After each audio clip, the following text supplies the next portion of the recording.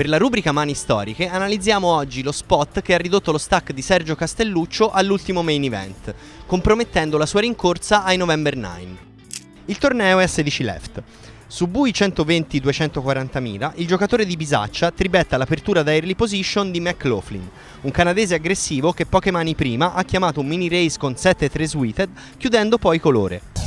Ci aiuta ad analizzare il colpo uno che di World Series se ne intende, il due volte braccialettato Max Pescatori.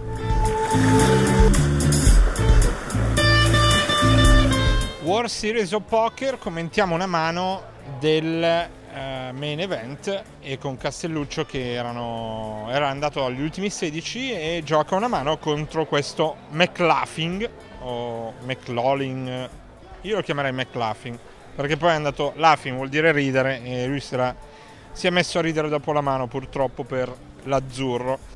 Raise di UTG eh, per McLaughlin di 500.000 e Castelluccio tribetta da bottone 1.150.000 ormai non si passa mai il canadese eh, chiama questo anche perché ovviamente ha 17 milioni contro 9 di Castelluccio quindi può anche far valere questo potere delle chips, eh, visto che quando si è in 16 veramente diventa importantissimo cercare di eh, appoggiarsi contro gli altri perché nessuno vuole mai uscire, insomma due posizioni in più lì c'erano 100.000 in più, 150.000, quindi conta molto anche eh, utilizzare il proprio stack verso un avversario corto.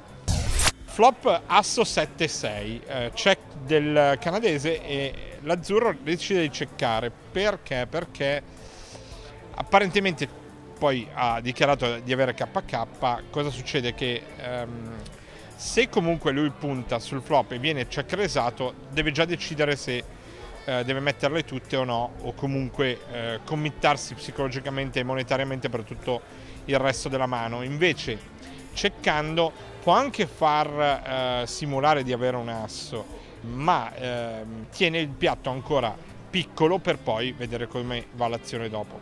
Quindi check check, turn 3 di Picken influente. Eh, il canadese viene fuori puntando peraltro giustamente con 800.000. Una specie di stop in bet al turn. Perché? Perché se puntava 2 milioni e 3, 2 milioni e 4, magari Castelluccio con l'asso fa resto perché non gli conviene più eh, solo collare. Invece con 800.000 può anche collare se ha solo un asso per eh, la questione che non vuole necessariamente ehm, eh, buttare via una mano peggiore e, e invece resare per una mano eh, maggiore. Poi eh, dipende da quello che mette l'avversario, però 800.000 mi sembra la puntata giusta che permette a lui di vedere eh, il River probabilmente e anche se viene resato probabilmente Castelluccio non fa resto magari gli fa 2 milioni 3 2 milioni e 4 e con Bila può chiamare e poi pushare nel caso che abbia la mano. Eh, Sergio invece colla e basta. Peraltro eh, mossa normale con 2k River 9 di quadri che purtroppo chiude la scala per eh, il canadese che punta a 3 milioni, quindi una puntata più sostanziosa ma non esagerata, proprio perché il canadese aveva capito che probabilmente Castelluccio non aveva eh, asso K o asso donna, quindi mettendolo su una coppia eh, certamente forte o su un asso eh, non esageratamente alto come asso K asso donna, si vuole far pagare un eh, prezzo buono ma senza metterne nella condizione Castelluccio di dire se perdo questa poi sono fuori dal torneo. Quindi puntata perfetta e viene pagato da Sergio che eh, sfortunatamente poi mucca e finisce la mano. Cosa dire del call più che altro di Castelluccio alla fine?